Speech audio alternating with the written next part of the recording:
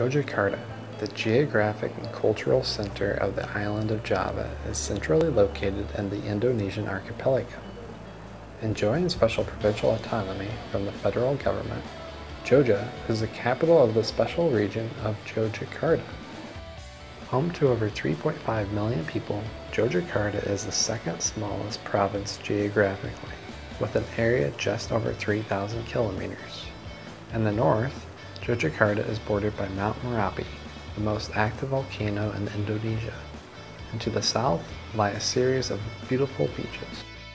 Within Jogja's borders are the renowned temples Borobudur and Prambanan. Its rich history and vibrant art scene make Yogyakarta a must-see while visiting Indonesia. Hello, nama Brian Mike. Saya dari Iowa, Amerika Serikat. Saya mahasiswa di University of Iowa. Saya belajar bahasa Indonesia di Universitas Sanata Dharma di Yogyakarta. Saya juga relawan di Keraton Yogyakarta. Nama saya Mika Inadomi. Saya dari Seattle, Washington. Di Amerika, saya mahasiswa di Universitas Johns Hopkins. Jurusan saya adalah ilmu politik dan matematikas. Saya juga relawan di Keraton dengan Mas Brian. We're working with Tepas Tandha Yekti, the Information and Communication Office of the Keraton. We are with the U.S. Indonesia Society's Summer Studies program to learn Bahasa Indonesia at Sanata Dharma University and experience Indonesian culture. Sultan Hamengku Buwono IX, who lived from 1912 to 1988, was one of the most important and influential sultans in Yogyakarta's history. He was said to have resembled a sphinx. Quote, he is usually quiet but has charisma. As a long standing national level leader, he has the affections of the public but always maintains his integrity. His lifetime spans significant portions of Indonesian history, including the Dutch colonial rule, the Japanese occupation, Indonesia's struggle for independence, the intense nationalism of Sukarno's years, and the establishment of Suharto's new order. Due to the Dutch occupation, the ninth sultan was educated in the Netherlands. Traditionally, at this time, sultans were able to choose between two courses of study the first course took four years and predominantly led to a law degree. One would study comparative ethnology of the East Indies, tropical economics, statistics, Javanese language, Islam, archaeology, history of the Indies, and colonial history. The other course is called Indology.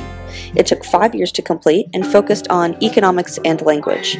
Some additional subjects that were focused on with this course included political science, constitutional law, customary law, and archaeology. They would study at Leiden University. It was the most distinguished institution in the world for the time, specializing in instruction about the East Indies. The Keraton is more than just a palace. It is the acting provincial capital of the special region of Yogyakarta. This is why there was a one kilometer square wall surrounding the palace grounds.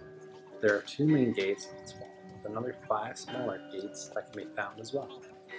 Upon walking into the Keraton's grounds, visitors will soon notice the Joglo-style architecture of many of the buildings.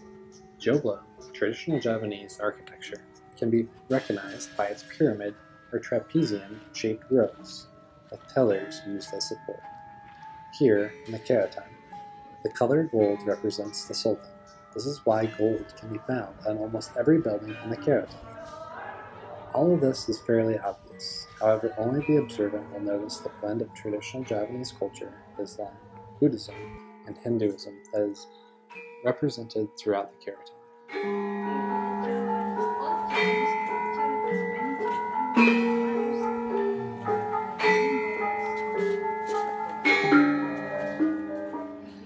Video, we decided to interview some of our fellow USINDO participants about their perspectives of the Keraton and Yogyakarta in general. First, we have quotes from Adam Murphy.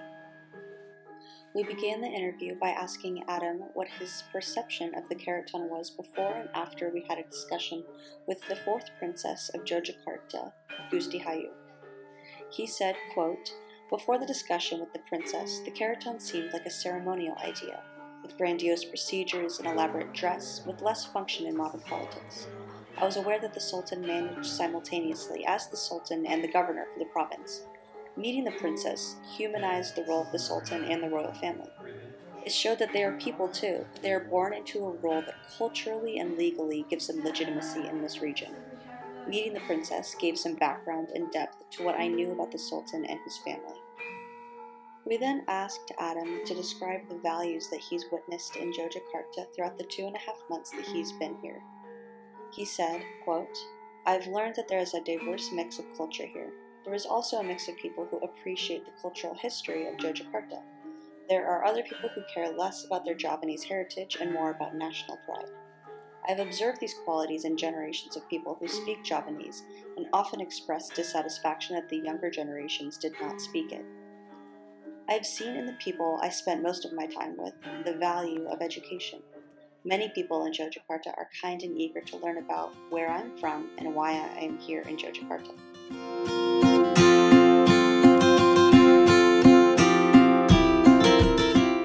We then asked if, in his opinion, Jogjakarta would welcome and accept a female as their next sultan.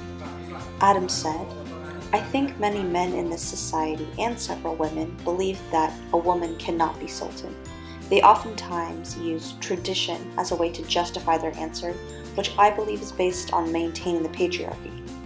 We then asked USINDO participant Gibson Haynes the same question, to which he responded, I've seen a wide variety of beliefs, and the only thing I can be sure of is that there wouldn't be unanimous support for and respect of a female sultan.